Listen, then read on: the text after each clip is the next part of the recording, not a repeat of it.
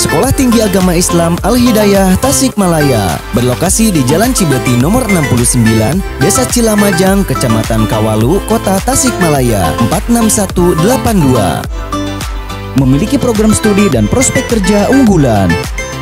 S1 Ilmu Al-Quran dan Tafsir. S1 Pendidikan Islam Anak Usia Dini. S1 Pendidikan Bahasa Arab. Hanya dengan Rp450.000 kamu sudah bisa kuliah.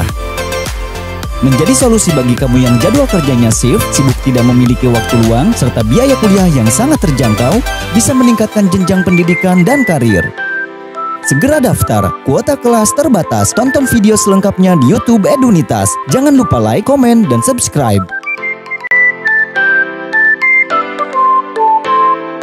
Edunitas, successful is easy.